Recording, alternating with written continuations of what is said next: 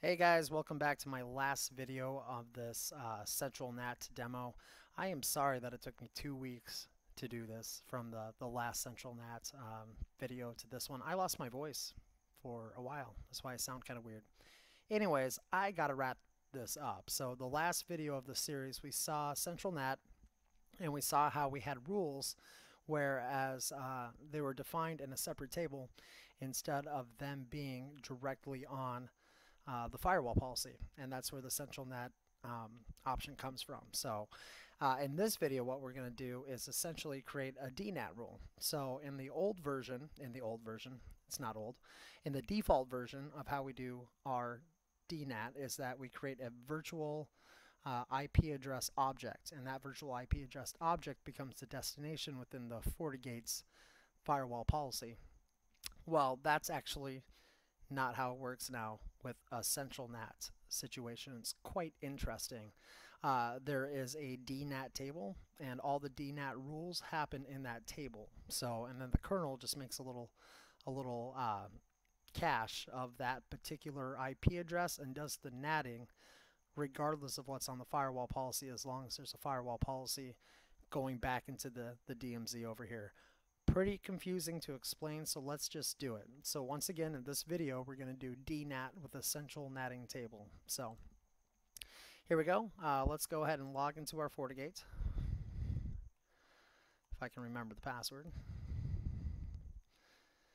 All right. Yep, I know. I did not shut it down properly. Okay, so I've also been using this lab environment for a couple of my classes, so that's why it's kind of trashed looking, so I apologize. But uh, if we go down here to our, to our objects and policies, you'll see that we have a DNAT and virtual IP address, which is different from the central SNAT table. So what we're going to do is that we're going to define the VIP, the virtual IP address, to go from the outside world to the in, here. So let's go ahead and say create new. And it does feel like creating a, a virtual IP address. So we're going to say web server. Okay. And I'll just leave any interface. That's fine. All right. And then the external IP address is going to be 10.200.1.50. Now, if you guys remember, our lab environment here uses the real interwebs, the internet, so we can't make up private, public, I mean public IP addresses. So we just make believe that anything that starts with 10200 is public.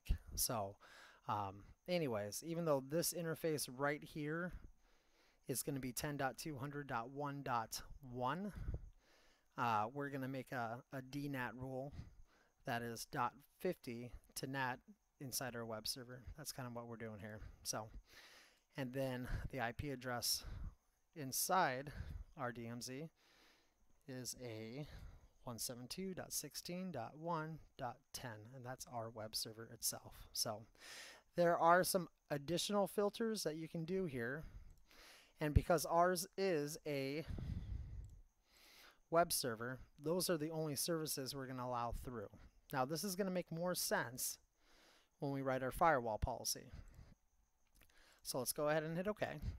So we now have almost a separate table, and these are evaluated um, top down, right, that has these rules. And now, because nothing happens without a firewall policy, we go into our IP4 policy, we hit a create new, and I'm going to call this the DMZ and what's interesting is our incoming is our WAN popping out our DMZ.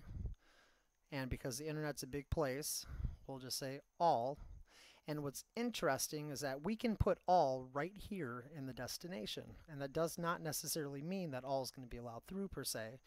It means that we don't have to define all the VIP objects here or all the separate services here. So the whole idea of having a separate table for your DNAT is that you can define them all in one place instead of having tons of firewall policies um, messing up your, not messing up, but cluttering your, your FortiGates firewall policies. So in fact, you know, we might have, we might have a filter for several things.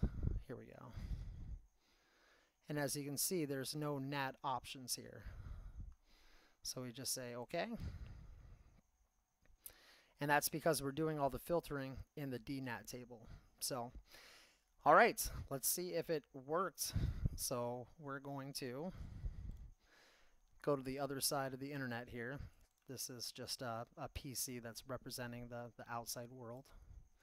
And let's go to 10.200.1.50. And as you can see, we're accessing our, our web server. So the DNAT rule did work. So guys, that concludes my, my little natting uh, series there. So we looked at our traditional default policy-based natting and then also our central natting.